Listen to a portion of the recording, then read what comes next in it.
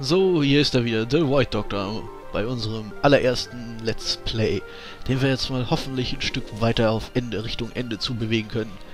Und darum sind wir jetzt hier bei Beschwörungsnacht 2, Schwert um Herstellungsgeschichte und ah, ich höre schon auf zu übersetzen und mach weiter. Ah, Level 30 und fast 16 Stunden investiert. Ah, hoffentlich kommen wir bald mal zum Ende entgegen. Für ein Gameboy-Spiel ist das schon ziemlich umfangreich hier. Ja, Waffen. Kettensägenschwert, Kreissägenaxt und Vortex-Speer. Ah ja. So können wir die unsere Viecher entweder zersäbeln oder aufspießen. Aber was hast du zu sagen? So, keine Sorge, wegen Blair. Ich kümmere mich schon um ihn. Ah ja, Blair war der Ziehvater von unserer Handwerkserin Ariel. Ha, diesmal habe ich nicht alles wieder vergessen. Und wir machen jetzt auf die Suche. Da war irgendwas Wichtiges. Ah ja, genau. Wir sollten Richtung Wald, nicht wahr? Und was ist mit dir? Ach so, ja.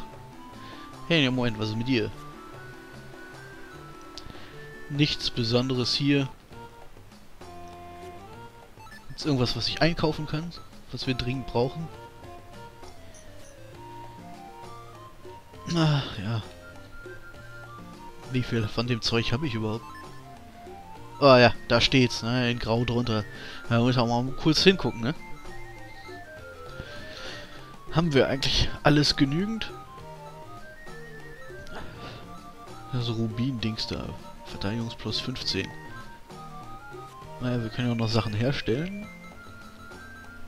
Gucken wir mal schnell nach.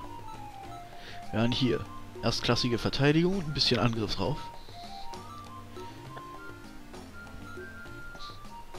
Adamantium hat Maximum Verteidigung, aber senkt die Angriffskraft zu stark. Das Diplo Bracelet, genau. Das wollten wir doch mal machen irgendwann. Dazu fehlt uns... Oh, wow, wir haben praktisch alles. Wow. Okay, dann müssen wir nur... Ganz simpel das Ding hier ausziehen. Und dann können wir na, nicht kaufen. Oh, war ich zu hektisch wieder. Erschaffen. Naja, ah Verteidigung stark, aber unsere Agilität ist schon niedrig genug. Dank der schweren Waffen, die wir mit uns rumschleppen. Und da wir nur einen Ausrüstungsgegenstand tragen können, kümmern wir uns mal lieber um die ganzen Treffer, die wir kassieren. Und machen das Diplo Bracelet. Genau. Bing. Das ist zwar kein, kein großer Aufstand, was wir jetzt hier gemacht haben. Nur ein paar Pünktchen hier und da mehr. Aber jedes bisschen hilft. Und vielleicht kriegen wir in der nächsten Runde mal einen nützlichen Gegenstand, der unsere, unserer Verteidigung auf die Sprünge hilft, ohne gleichzeitig irgendwas anderes abzusaufen, absaufen zu lassen. Und wir machen uns jetzt mal weiter auf den Weg Richtung Story. Da war ja noch irgendwas. Wir müssen immer noch diese komischen Schwerter finden. Ich glaube, zwei von denen haben wir gefunden und dann gab es irgendeinen Ärger, dann konnten wir den dritten äh, nicht mehr aufhalten. Ich glaube, das meinten sie nicht. Augenblick. Ich guck mal, wo wir hin müssen. Okay, Schneiderzeit zu Ende. Wir haben die Story wiedergefunden. Ah, Tomei, der Trottel. Ah, ich weiß, das ist alles meine Schuld. Aber ich habe hier ein bisschen Reparaturen durchführen lassen. Ah, gute Arbeit. Und ich würde mit dir gern über Borgrim sprechen. Borgrim? Oh, ach so, du meinst diese komische Kreatur, die von einem bösen Geist äh, besessen ist? Ah ja, genau. Und kein Wort dafür, dass das ein verdammter Riese ist. Gut, gut, du verstell, du tust unseren Supermonster hier ein bisschen besser verstehen. Ich weiß nicht, ist das gut, ist das schlecht? Ich denke, es ist möglich, ein japanischen Tempel-Talisman-Dings da, ich versuche das gar nicht erst auszusprechen, herzustellen, um den bösen Geist zu exorzieren. Ich hoffe, das klappt besser als in der Exorzist 2.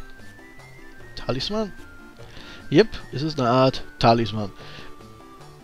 Wenn du einen bösen Geist auf diese Weise besiegen willst, dann brauchst du nur deinen ganzen Geist äh, darauf zu konzentrieren, einen Talisman zu schaffen. Oder die... Oder sie haben gar keinen Effekt.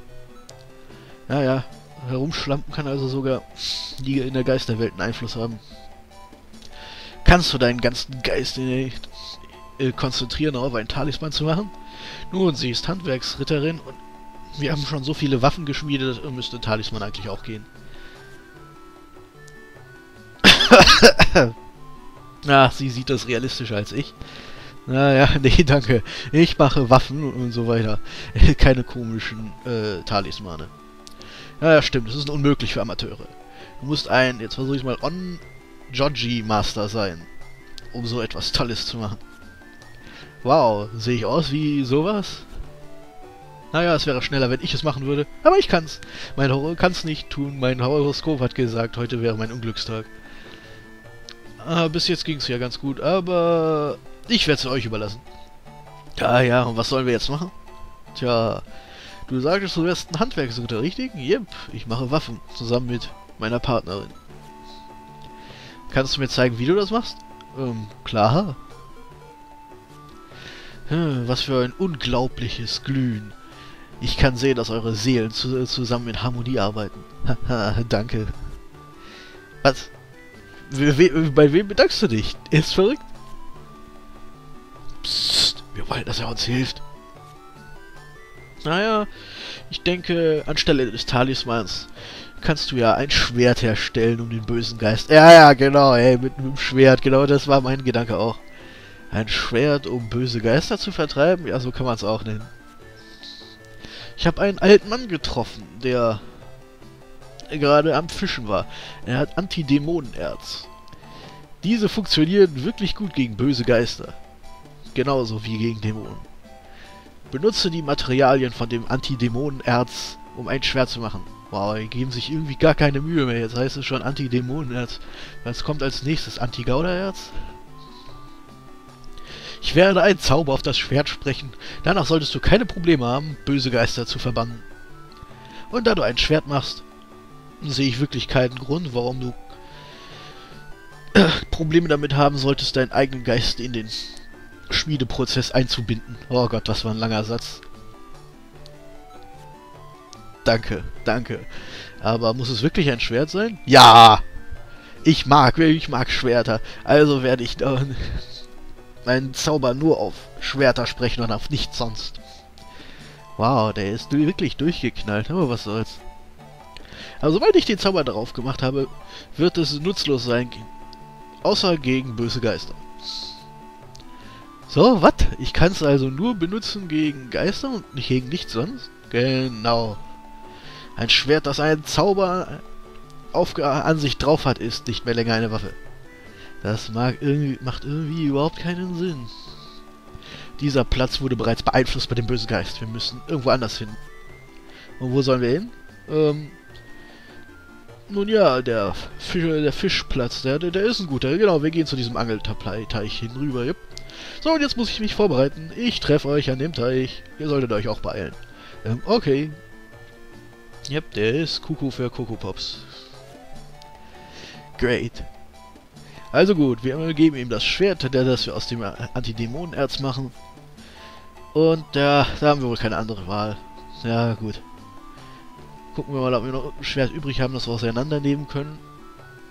Und dann schmieden wir ein neues mit Antidämonenerz. Jetzt müssen wir den alten Kerl finden. Ja, jetzt labert er mich hier schon wieder vor. Darüber, wie man angelt. Das weiß ich schon, verdammt. Ich habe sogar, glaube ich, mal in einem Video gezeigt, also... Hey.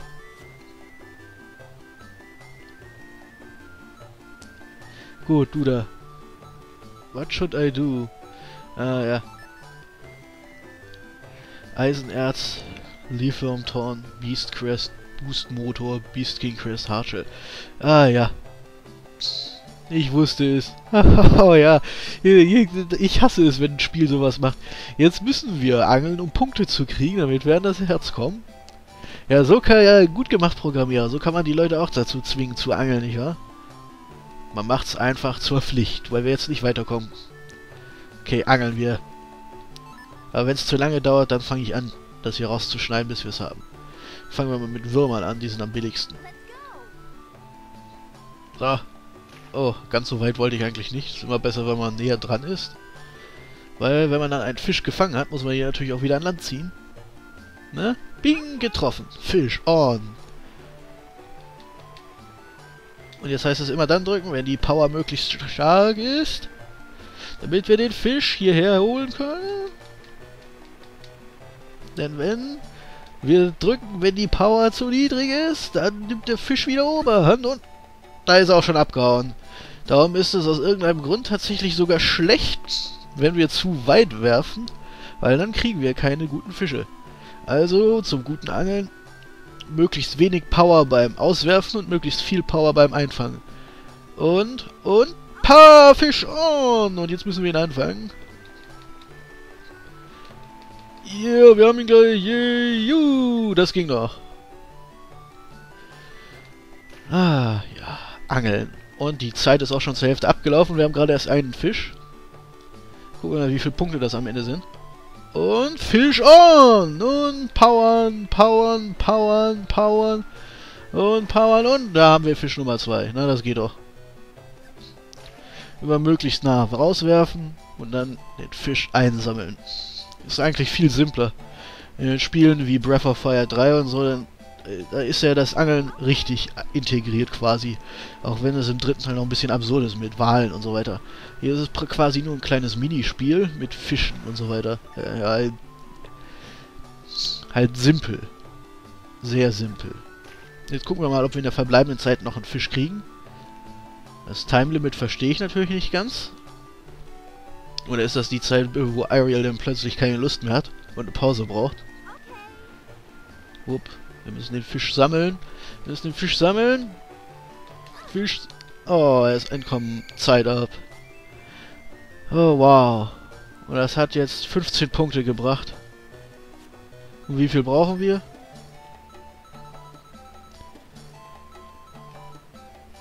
Ah ja, ich glaube nicht, dass wir das holen. So gerne will ich nicht fischen.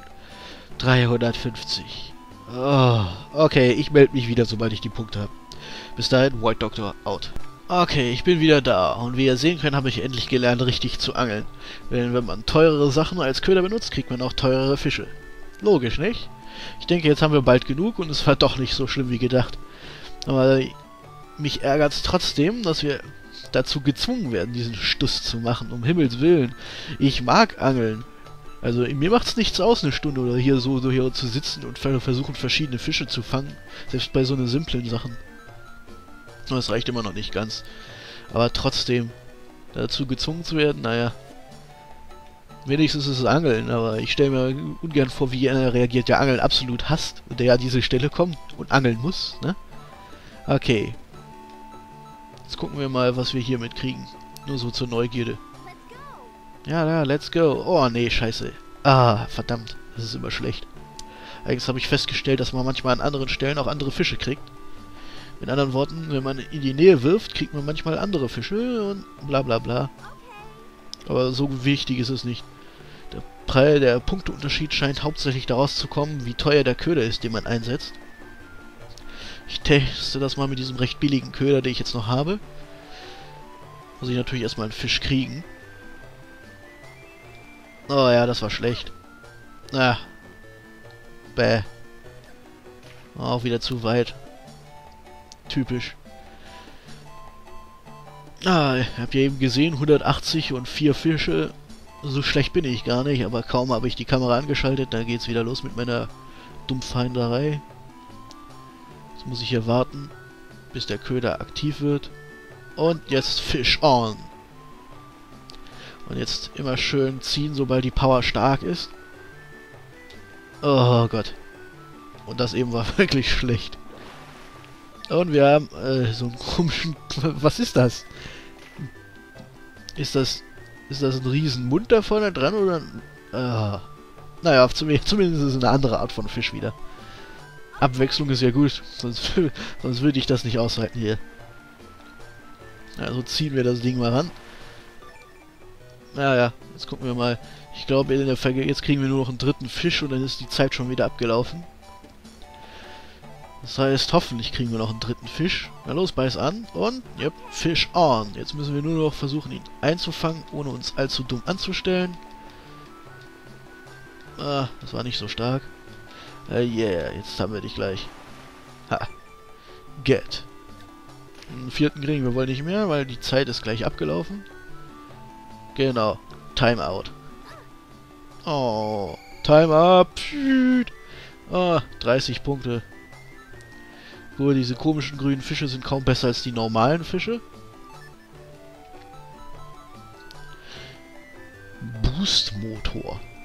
Beast King Crest, Hardshell. Ja, das sind alles tolle Sachen, ja. Aber ich versuche mal, da wir das Schwert wahrscheinlich verlieren. Anti-Dämonen-Erz. Na toll. Ich versuche mal ein zweites von den Dingern zu kriegen, damit wir mal eine richtige Waffe machen können.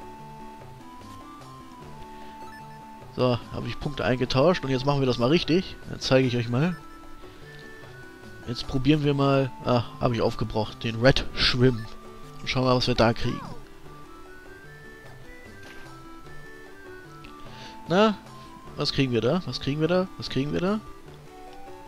Ah, ja. Und Fish on.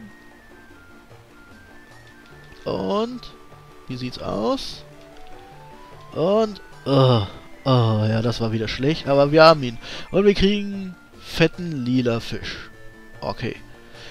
Spulen wir mal vor bis zu dem Zeitpunkt, wo wir fertig sind. Und das war's mit der Angelei. Diesmal habe ich sogar geschafft, wie man sehen kann, zwar nur ein bisschen Punkte mehr zu kriegen, aber wir haben es geschafft, alles voll zu angeln, die Zeit, bevor die Zeit abgelaufen war. Leider reicht es noch nicht für ein zweites Dämonenerz. Also kann ich jetzt mal etwas demonstrieren, was ihr ja leider übersehen habt während meiner Punktesammlerei. Was man machen kann, was man fangen kann, wenn man ganze Hummer einsetzt. So, das machen wir jetzt mal ganz simpel. Na, Hummer, Hummer. Los, beiß an, Fisch. Ich habe einen Hummer hier für dich. Einen Hummer. Ja, gut, Fisch on. Und was fangen wir dadurch? Und, ähm, was, was ist das? Ein Alienfisch? Na, Ach, jetzt, ich sehe den Fisch von oben. Ja, jetzt verstehe ich. Es ist also eine Art komische, so, so, wie diese Welse, die bei uns im Steinhuder Meer leben und so. Ei, ei, ei. Also, merkt euch das, Leute, wenn ihr angeln wollt, habt ihr zufällig einen ganzen Hummer irgendwo rumfliegen, den ihr aus dem Meer geangelt habt, dann könnt ihr den Hummer dann dazu benutzen, in einem Süßwasserteich Welse einzufangen. Logisch, nicht? Sehr logisch. Gut, dann machen wir mal weiter und schauen, wie viele Wälse wir fangen können bis zum Schluss. Jupp, jupp, Wels, Wels, Wels, Wels! Los, wir kriegen nicht Wels, wir kriegen nicht Wels! Ah, bleib hier. Ah, ja, hier müssen wir aufpassen, weil wir ein paar Mal daneben greifen, haben wir Pech gehabt. Ich versuche jetzt mal ganz oh, weit hinten mal und gucken, ob wir da irgendwas fangen können.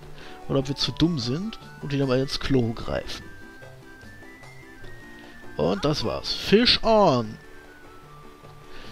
Ja, hier müssen wir immer max fast Maximum Power kriegen.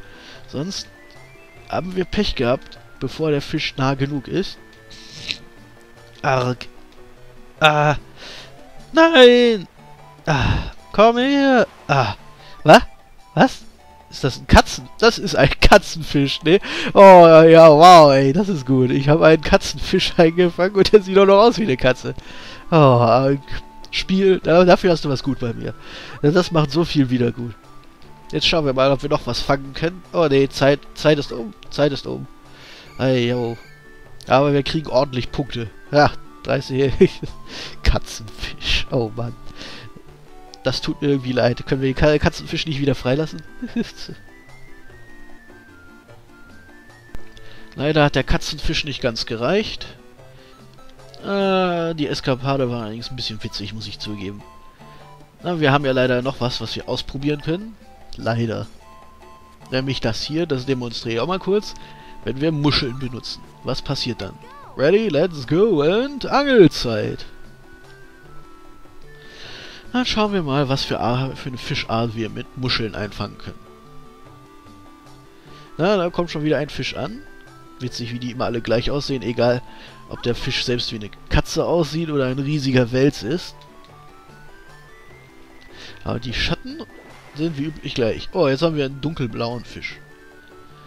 Fangen wir mal ein paar von denen ein, um Punkte zu machen, damit sich das auch lohnt hier. Hier haben wir schon wieder ein Viertel der Zeit verloren. Also los, beiß an. Ja, Fisch. Und, und ziehen an Land. Jep, das geht schnell. Ich versuche noch einen blauen zu kriegen und dann gucken wir mal, ob wir da ganz hinten noch irgendwas anderes kriegen, so wie eben. Wie ihr gesehen habt, wenn man sich die Mühe macht, einen der möglichst schwer zu fangenden Fische zu kriegen, hat man manchmal eine Überraschung. Also jetzt komm, los, los, los, beiß an. Beiß an. Und, yep, Fish on.